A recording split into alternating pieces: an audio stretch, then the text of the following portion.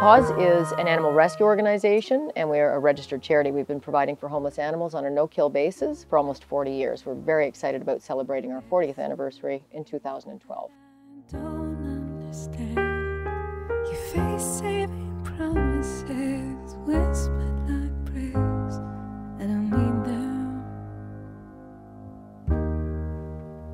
I've been treated so wrong.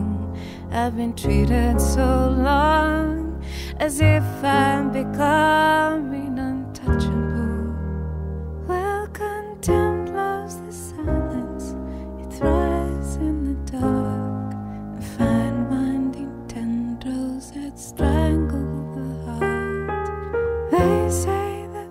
We've helped a large variety of animals actually, from domestics to exotics to wildlife, uh, but our focus recently has been on cats because there's such a problem in Ontario with the overpopulation of cats.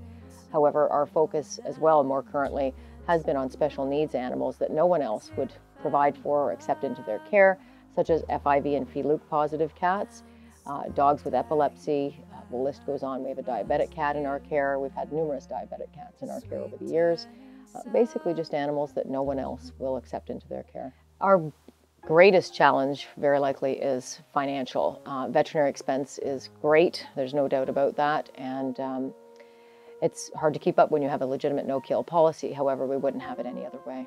We look at each individual as an individual. Each animal that comes into our care is an individual and we do our very best to treat them as such. We refuse to be forced to make a decision on an animal and about an animal's life based on financial needs.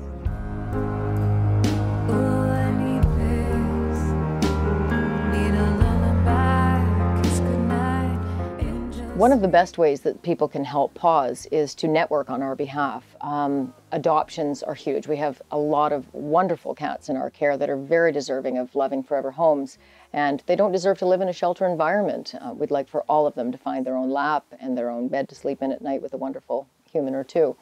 Um, we'd love for, to see the community come together and hold little bake sales or garage sales or other fundraising events, organize something at the office where there's a dress down day or a toonie collection of some sort.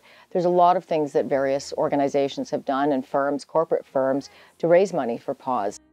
At PAWS, we're confident that things are on the upswing. We know that people are cluing in to what animals need. It's taking a little longer than we'd like it to, but we know that with PAWS continuing and other organizations like PAWS, we can get our message out there. We can encourage kindness to all animals, spaying and neutering, teaching children at a young age the right and the wrong, and just to move forward from here. Oh, well, is it dark enough? Can you see